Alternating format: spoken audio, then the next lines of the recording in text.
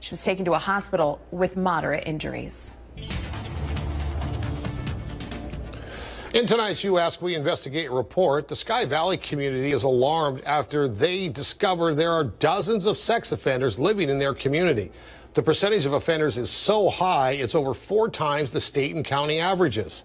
They're hoping tonight's city council meeting with county representatives can answer some questions. Olivia Sandusky has more on this for our area, it's it's uneasy. I almost feel like we're a dumping ground. That's how Tabitha Davies describes her Sky Valley community, a rural, unincorporated part of Riverside County that has 90 registered sex offenders out of less than 2,400 residents. To me, it also puts me in a more uncomfortable position because there's less eyes watching you. The Sky Valley area has three transitional homes, each housing several offenders on probation or parole. The area's sex offender per capita rate is one of the highest in the valley and is about four times higher than both the state and county averages. I mean, my son doesn't feel comfortable going outside and just spending time with the horses like he used to.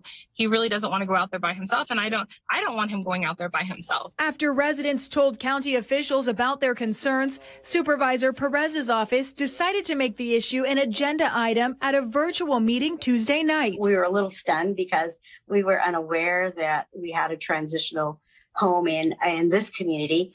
Um, but not surprised. Now the community will have a chance to speak directly with different county departments, and Tabitha says she'll be a part of that discussion. I have found errors with the house that we have down the street from us. Like they're using fake addresses. Their pin marks are on lots that don't belong to them, that are not even homes.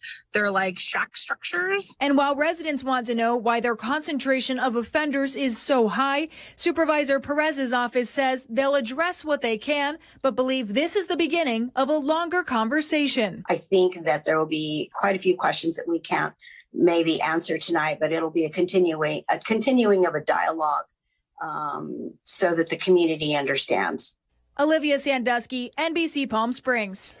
That meeting will start at 6 o'clock. Supervisor Perez's office says all residents are encouraged to join in. They say it'll be mostly informational, but they'll welcome any feedback. And remember, if you have a story or an idea, something you'd like us to look into, email us at news at NBCPalmSprings.com. You ask, we'll investigate.